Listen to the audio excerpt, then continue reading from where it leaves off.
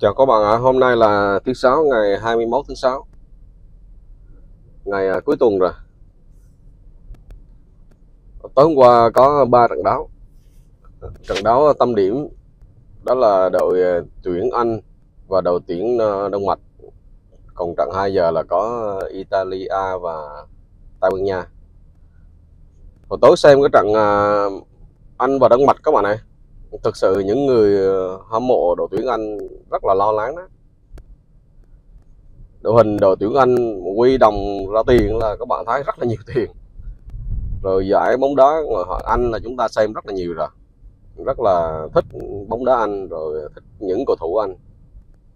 Nhưng mà nhìn lối chơi của đội tuyển Anh như vậy là không yên tâm các bạn. Lối đá mình có cảm giác là không có thủ lĩnh đó, không có hai, không có đường nát. Đội tuyển đông mạch hồi tối mà có một chút may mắn hoặc là nắng nấu một tí nữa là coi như là đội tuyển anh là ờ, ra về tay trắng rồi.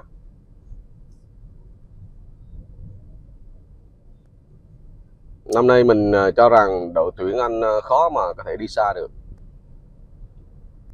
Còn trận đấu giữa Tây Ban Nha và và ý thì các bạn thấy Tây Ban Nha đúng là ứng cử viên của địch. Đội tuyển Tây Ban Nha thì mình đá quá đẹp. Đội tuyển những cầu thủ trẻ bây giờ đá rất là sung sức và kỹ thuật rất là hay. Đội tuyển Ý đâu phải là dặn vừa mà các bạn thấy là ép toàn thời gian luôn. Nên đây mình nghĩ uh, ờ, Tây Ban Nha đội tuyển Đức đội tuyển Pháp đó, những đội có tiềm năng rất là lớn để vô địch uh, châu Âu lần này.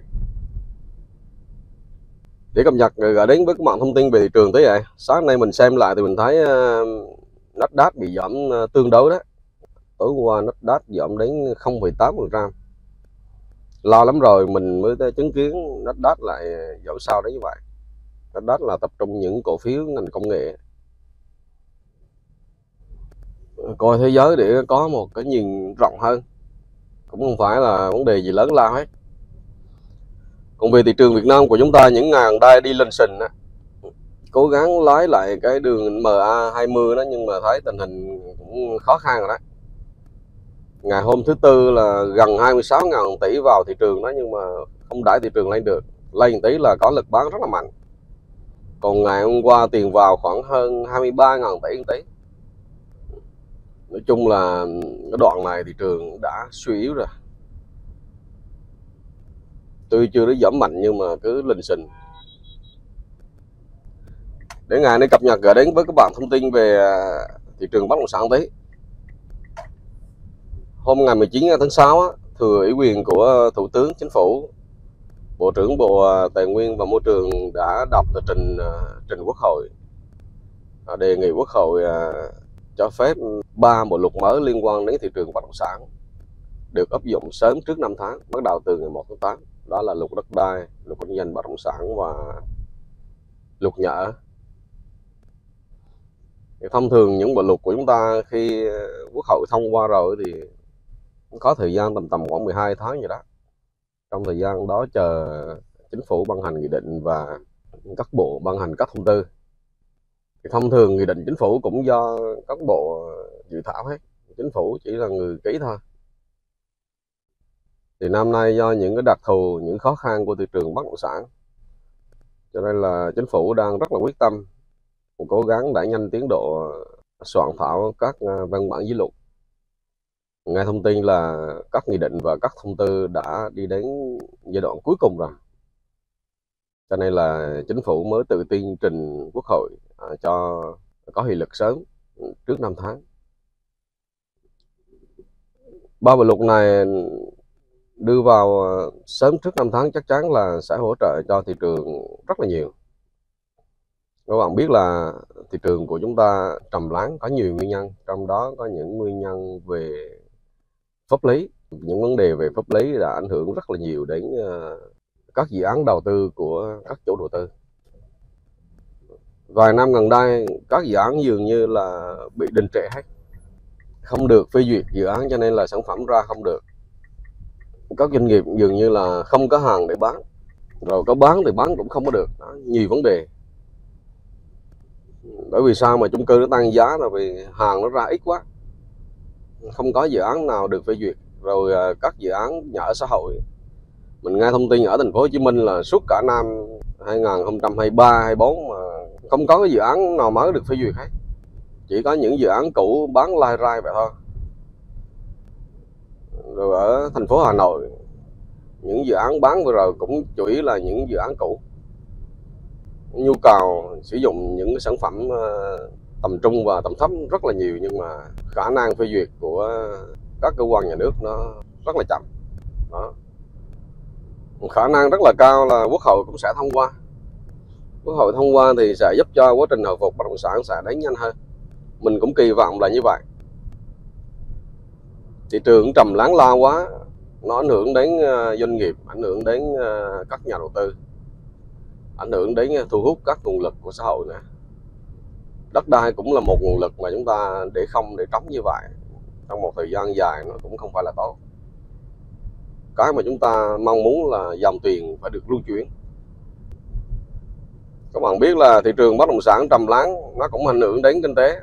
Đặc biệt là các bạn thấy tốc độ tăng trưởng tín dụng nó cũng đau cao đâu mặc dù từ đầu năm đã giao quyết định tăng trưởng 15% giao cho các ngân hàng luôn, chứ không có duyệt như các năm nữa, nhưng mà ngay báo cáo mới ờ, mới ba chấm mấy phần trăm như mấy, rất là thấp. Như vậy là so với mục tiêu là còn rất là xa. Đó, thị trường bất động sản trầm lắng mà nói là nó sẽ ảnh hưởng đến tốc độ giải ngân dòng vốn. Tất nhiên chúng ta không có ủng hộ tình trạng đầu cơ bất động sản đầu cơ đem đến nhiều thiệt hại cho doanh nghiệp, cho người dân và cho đất nước nữa. Đầu cơ là dẫn đến ờ, sự lũng đoạn và sự lãng phí tài nguyên.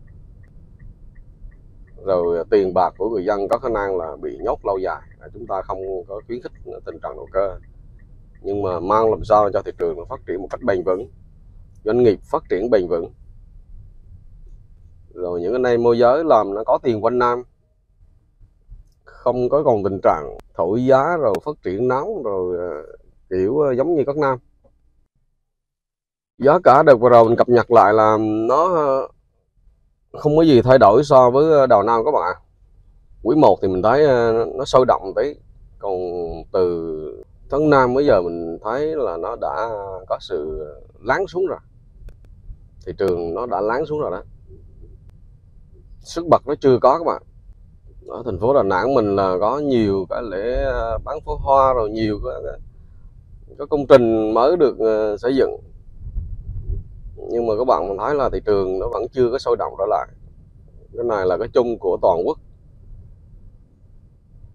Thành phố Đà Nẵng mình đợt vừa rồi đưa vào khai thác ờ, các cái tuyến đường vành đai đó giá cả đất nông thôn, những cái khu vực mà gần gần đường vành đai đó, bên đây cũng tăng giá trở lại rồi.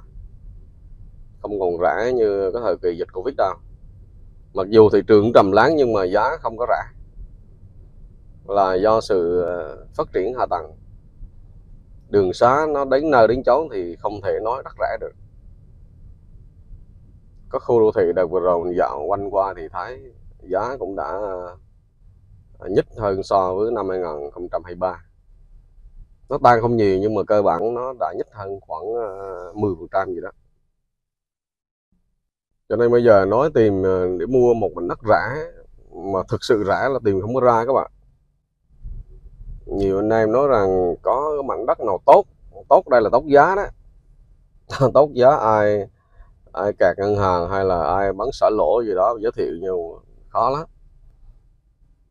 vì phần đa những cái lô hoặc là những cái nhà mà xả lỗ là các nhà đầu tư tại khu vực đó người ta mua liền.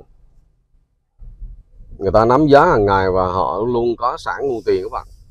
Ai mà bán, xả là người ta mua. Chứ đâu tới lượt mình đâu đâu phải dễ dàng. Chính cái giai đoạn mà thị trường trầm lắng, khó khăn, đi mua bất động sản là sướng nhất. Với người bán họ cần bán mình dễ trả giá hơn giá cả nó thấp như thế này cũng dễ cho mình. Chứ còn khi thị trường nó đã sôi động trở lại, người mua, người bán nó nhiều hơn thì cái việc mua nó cũng khó hơn. Đất cát các bạn biết là chỉ cần trong vòng một tháng hoặc là hai tháng thị trường nó sôi động lên là giá nó tăng nhanh lắm. Lúc đó chúng ta mua mua không kịp. Thì thông thường cái thời điểm sôi động nhất là cái thời điểm mà lại mua bán sướng nhất. Đó. giá nó cao nhưng mà lại mua bán sướng nhất. Thì chúng ta chấp nhận là mua cao, bán cao. Còn ai chịu khó, thời điểm này đi sang, đi mua được những cái bất động sản tốt, giá tốt, vị trí tốt. Mua xong chờ đợi, thì sau này có được những khoản lợi nhuận rất là tốt. Còn không thì chúng ta phải chờ thị trường thôi. Rồi, ngày nay có một vài thông tin cập nhật gửi đến với các bạn như vậy thôi. Ba chào các bạn ạ. à.